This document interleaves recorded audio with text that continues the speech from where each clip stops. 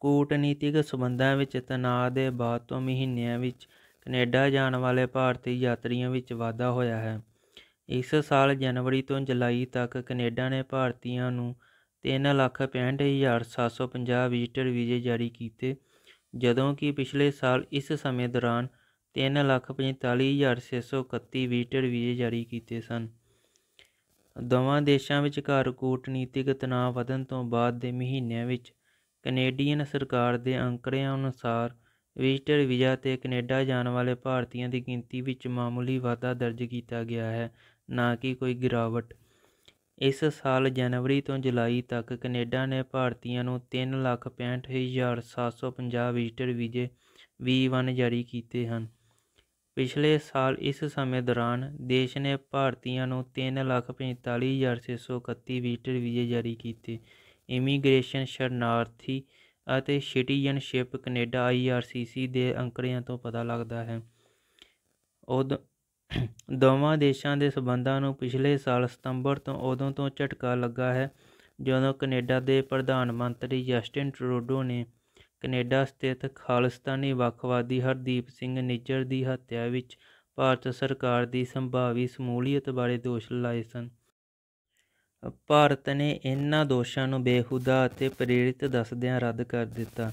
ਉਦੋਂ ਤੋਂ ਸਤੰਬਰ ਤੋਂ ਦਸੰਬਰ 2023 ਤੱਕ ਕੈਨੇਡਾ ਨੇ ਭਾਰਤੀਆਂ ਨੂੰ ਇੱਕ ਲੱਖ ਛਿਹੱਤਰ ਹਜ਼ਾਰ ਤਿੰਨ ਸੌ ਬਹੱਤਰ ਵਿਜ਼ਟਰ ਵੀਜ਼ੇ ਜਾਰੀ ਕੀਤੇ ਹਨ। ਇਸ ਦੇ ਉਲਟ ਪਿਛਲੇ ਸਾਲ ਦੇ ਅੰਕੜੇ ਦੱਸਦੇ ਹਨ ਕਿ ਸਤੰਬਰ ਤੋਂ ਦਸੰਬਰ 2022 ਤੱਕ ਦੇਸ਼ ਨੇ ਭਾਰਤੀਆਂ ਨੂੰ ਘੱਟ ਗਿਣਤੀ ਵਿੱਚ ਇੱਕ ਲੱਖ ਤੇਤੀ ਹਜ਼ਾਰ ਪੰਜ ਸੌ ਪੰਜ ਵਿਜ਼ਟਰ ਵੀਜ਼ੇ ਜਾਰੀ ਕੀਤੇ। 1 ਅਕਤੂਬਰ 2022 ਤੋਂ ਕੈਨੇਡਾ ਨੇ ਕੋਵਿਡ ਸੰਬੰਧਿਤ ਟੈਸਟਿੰਗ, ਕੁਆਰਟੀਨ ਅਤੇ ਯਾਤਰੀਆਂ 'ਤੇ ਆਈਸੋਲੇਸ਼ਨ ਪਾਬੰਦੀਆਂ ਨੂੰ ਵਾਪਸ ਲੈ ਲਿਆ ਸੀ।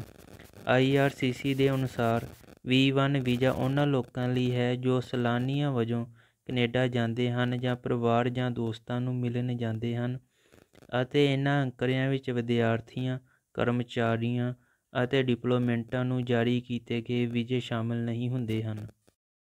ਇਸ ਸਾਲ ਜਨਵਰੀ ਵਿੱਚ ਕੈਨੇਡਾ ਨੇ ਐਲਾਨ ਕੀਤਾ ਸੀ ਕਿ ਉਹ ਅੰਤਰਰਾਸ਼ਟਰੀ ਵਿਦਿਆਰਥੀਆਂ ਦੇ ਦਾਖਲੇ ਨੂੰ ਘਟਾ ਦੇਵੇਗਾ।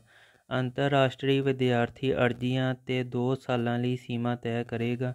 ਸਰਕਾਰ ਨੇ ਉਦੋਂ ਕਿਹਾ ਸੀ ਕਿ ਕੈਪ ਦਾ ਮਤਲਬ ਹੋਵੇਗਾ ਕਿ 2024 ਵਿੱਚ ਸਟੱਡੀ ਪਰਮਿਟਾਂ ਵਿੱਚ 2023 ਦੇ ਮੁਕਾਬਲੇ 35% ਦੀ ਕਮੀ ਆਵੇਗੀ ਅਤੇ ਇਹ ਕੈਪ ਮਾਸਟਰਜ਼ ਅਤੇ ਡਾਕਟਰੇਟ ਡਿਗਰੀਆਂ ਕਰ ਰਹੇ ਵਿਦਿਆਰਥੀਆਂ ਅਤੇ ਮੌਜੂਦਾ ਸਟੱਡੀ ਪਰਮਿਟ ਧਾਰਕਾਂ ਨੂੰ ਪ੍ਰਭਾਵਿਤ ਨਹੀਂ ਕਰੇਗਾ।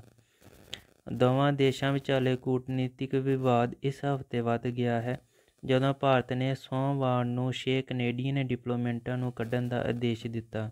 ਔਰ ਟਾਵਾ ਵੱਲੋਂ ਉਹਨਾਂ ਦੀ ਪਛਾਣ ਕੀਤੇ ਜਾਣ ਤੋਂ ਬਾਅਦ ਸੁਰੱਖਿਆ ਚਿੰਤਾਵਾਂ ਦਾ ਹਵਾਲਾ ਦਿੰਦੇ ਹੋਏ ਕੈਨੇਡਾ ਵਿੱਚ ਭਾਰਤੀ ਹਾਈ ਕਮਿਸ਼ਨਰ ਅਤੇ ਹੋਰ ਨਿਸ਼ਾਨਾ ਬਣਾਏ ਗਏ ਡਿਪਲੋਮੈਂਟਾਂ ਨੂੰ ਵਾਪਸ ਲੈਣ ਦੇ ਆਪਣੇ ਫੈਸਲੇ ਦਾ ਐਲਾਨ ਕੀਤਾ।